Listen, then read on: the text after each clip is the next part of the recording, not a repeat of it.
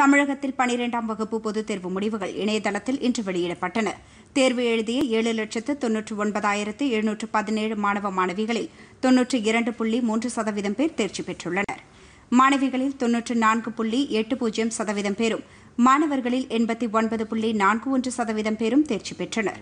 இதுகுறித்து அரசு தேர்வுகள் இயக்ககம் வெளியிட்டுள்ள அறிக்கையில் மொத்தம் உள்ள ஏழாயிரத்து நூற்று இருபத்தி ஏழு பள்ளிகளில் இரண்டாயிரத்து நூற்று இருபது பள்ளிகள் நூறு சதவீத தேர்ச்சி பெற்றதாக கூறப்பட்டுள்ளது.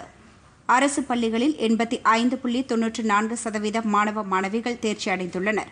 மாவட்ட அளவில் திருப்பூர் மாவட்டத்தில் தொன்னூற்றி ஏழு புள்ளி பன்னிரண்டு சதவீத மாணவ மாணவிகள் தேர்ச்சி பெற்று முதலிடம் பெற்றனர்.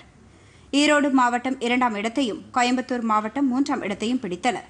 தேர்வர்கள் தாங்கள் பயின்ற பள்ளி அல்லது தேர்வெழுதிய தேர்வு மையத்தின் தலைமை ஆசிரியர் வழியாக இணையதளத்தில் பதிவிறக்கம் செய்யப்பட்ட மதிப்பெண் பட்டியலை பெற்றுக்கொள்ளலாம் என்றும் இதற்கான தேதி பின்னர் அறிவிக்கப்படும் என்றும் தெரிவிக்கப்பட்டுள்ளது.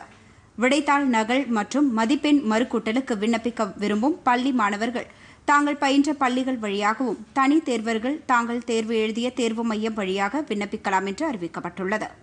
இம்மாதம் இருபத்தி ஏழாம் தேதி நடைபெறவுள்ள மறு தேர்வினை எழுதும் தேர்வர்களுக்கு மட்டும் தேர்வு முடிவடைந்த பின் அனைத்து பாடங்களுக்குமான தேர்வு முடிவுகள் வெளியிடப்படும். தேர்ச்சி பெறாத தேர்வர்கள் துணைத் தேர்விற்கு விண்ணப்பிக்கும் முறை மற்றும் தேதி குறித்து பின்னர் அறிவிக்கப்படும் என்று அரசு தேர்வுகள் இயக்ககம் குறிப்பிட்டுள்ளது.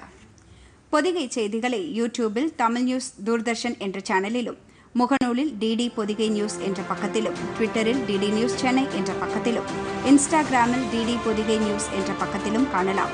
மேலும் உங்கள் கருத்துக்களை Pothigai DD news at Gmail dot com என்ற மின்னஞ்சலில் தெரிவிக்கலாம்.